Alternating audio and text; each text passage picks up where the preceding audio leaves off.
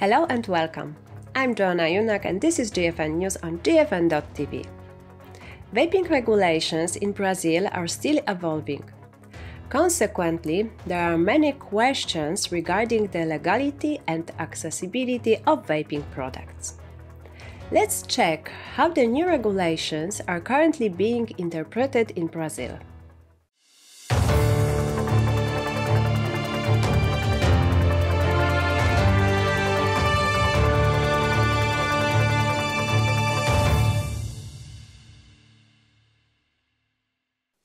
Joining us today to update us on the situation in Brazil is Alexandro Lucian, a journalist, specialist researcher in THR, and president of Direta, a non governmental consumers organization focused on tobacco harm reduction.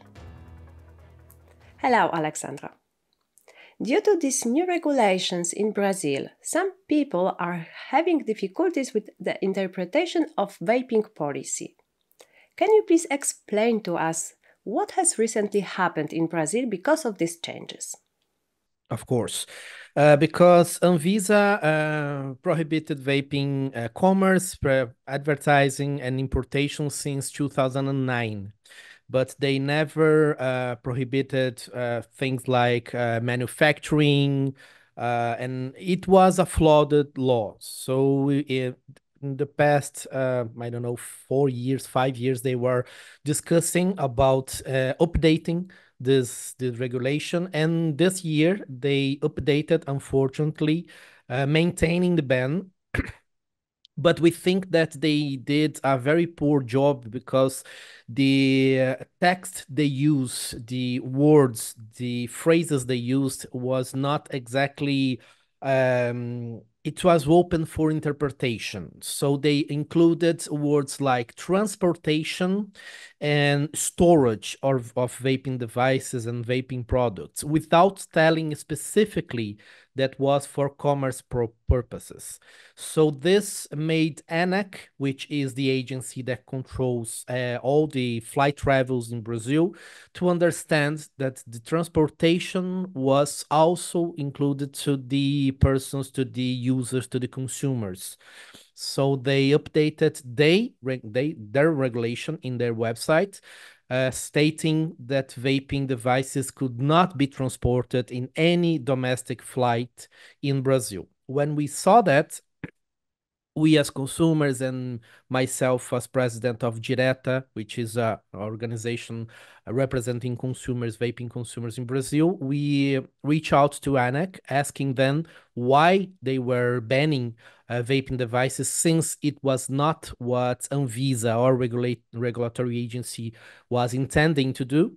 And then after some pressure, some letters we sent, they reach out to Anvisa. So ANAC uh, speak spoke to Anvisa about it, and a few, I think, two or three months the, um, after the banning, they changed their minds, and now we are as we should be. So transportation on vaping devices are allowed, domestic flights, and you can even um, go out of Brazil, go to any country in the world but you cannot come back with vaping devices. The importation of vape devices are still banned.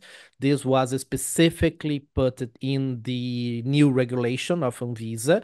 So any importation whatsoever, even if it's not for commerce, just for your personal use, is forbidden. So if you try to enter Brazil coming from England, Canada, or any other country, despite they discount these these countries having regulations and permitting the sales of vaping devices, you cannot enter Brazil. And if they find your device, they will confiscate it.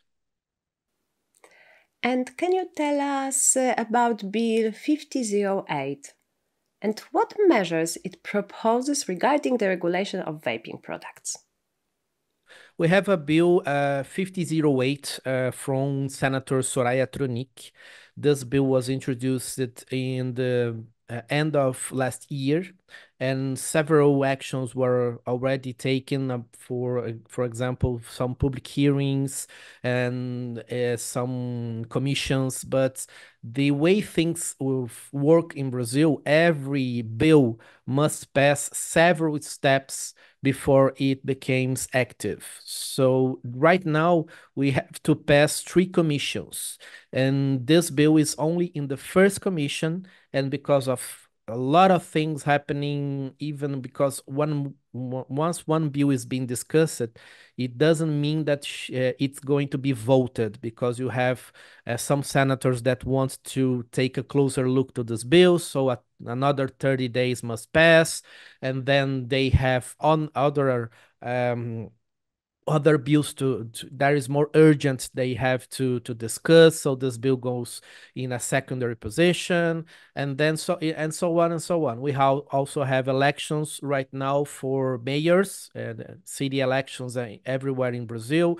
So we have right now a moment of standby to wait for this, these elections to, to pass, and then this subject, subject is going to be discussed again. There is a lot of um, resistance. There is a lot of uh, senators that are not um, supporting this bill. There's a lot of other senators that are. The consumers are supporting this bill because the what this bill wants is to regulate similarly like uh, cigarettes in the um, in the meaning that it's going to be regulated the substances used in the manufacturing. It's go it's it must be registered in Anvisa and compared with toxicological reports with the cigarette and shows it's uh, less harmful.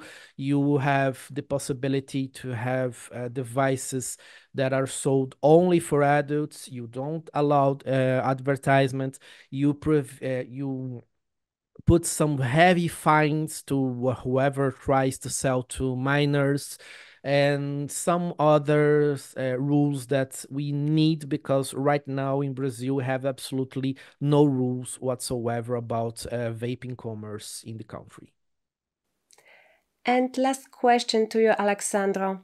There's an important new agency in Brazil that we've heard about. What is it? We have an agency called uh, Federal Revenue, which is like the IRS in the America. It's like the it's an agency that control taxes, customs, everything in Brazil. And the fe federal revenue of Brazil is the are those responsible for um, fiscalization and for uh, seizing products that are contrabanded in Brazil, everything from cell phones and counterfeited products and also vaping devices.